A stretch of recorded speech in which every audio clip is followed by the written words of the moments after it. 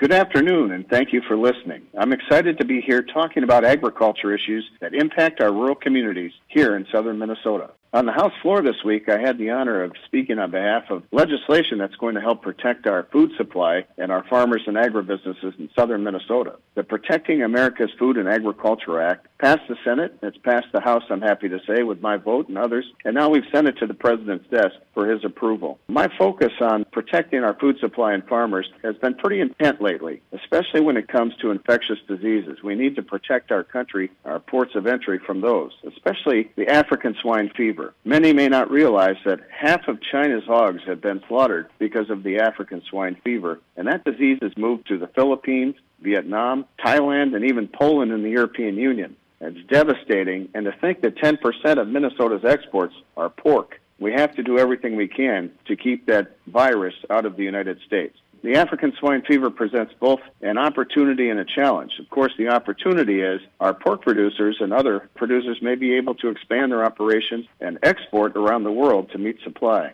The challenge, of course, is what happens if African swine fever enters the United States. It'll be devastating not just to our pork farmers, but to our soybean and corn growers, the people that sell the seed corn, the folks at the packing plants, all the way down to Main Street, and it's going to drive up the price of pork and other food products for the American people. Our bill, the one that we passed, the Protecting America's Food and Agriculture Act, well, we beef up the number of inspectors that we have at our points of entry. And that's important because we're doing everything we can to check people as they come into the United States for pork products that might not be proper. We also expand the beagle brigades, and those are the dogs that are out there and they can sniff out the pork. In fact, they're so good at their job, I said we should take them down to the Appropriations Committee and sniff out the pork there and drive down the deficit. So I can tell you that here in Washington, we're doing everything possible to make sure that the United States Department of Agriculture, the Department of Homeland Security, that they work together and help protect us and the American people and our food supply. And in the future, I may add that we'll probably be working to have them